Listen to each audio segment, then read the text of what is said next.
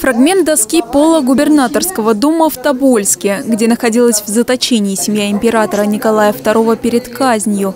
Один из артефактов, представленных на выставке «Возрождение через просвещение» в культурно-просветительском центре Усово-Спасское. Вниманию посетителей – исторические фотографии, документы, реликвии и многое другое. Мы рассказываем о наших изданиях, мы рассказываем о наших друзьях, мы рассказываем о жизни епархий, да, потому что э, без поддержки церкви, без поддержки э, э, властей и правительств в регионе мы не могли бы существовать. Выставка призывает помнить и чтить историю своей страны, повествуя о деятельности фонда Елисаветинско-Сергиевское просветительское общество. Десять лет э, сохраняя, популяризируя, просвещая о русской культуре, о отечественной традициях и истории занимается фонд, широко это делает по всей стране, делает масштабные э, важные проекты, как императорский маршрут, вы знаете, с 18 года. Фонд содействия возрождению традиций милосердия и благотворительности Елисаветинско-Сергиевское просветительское общество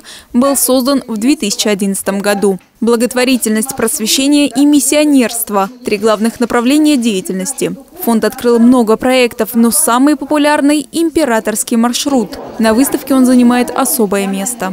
Я бы хочу отметить, что в императорский маршрут уникальность еще его в том, что входит 22 региона. Это один из самых таких регионально емких туристических продуктов. На выставке более 200 экспонатов. Разделы повествуют о приходской жизни села Усово, строительстве храма Спаса нерукотворного образа и создании самого фонда. Выставка «Возрождение через просвещение» доступна для посещения в Музее православного просветительского центра Усово-Спасское. Эмилия Ракелян, Николай Бирюков, телекомпания «Одинцова».